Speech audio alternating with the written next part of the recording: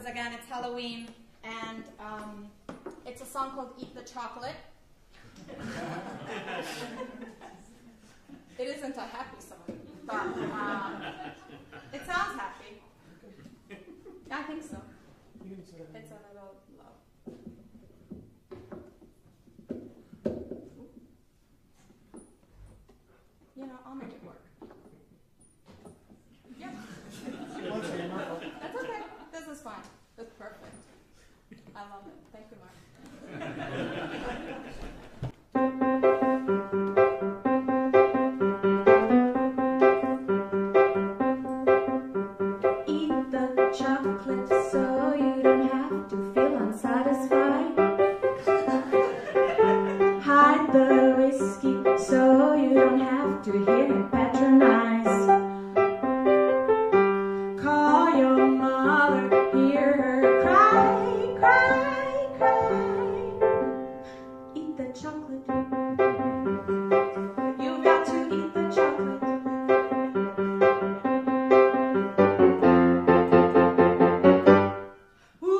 Thank you.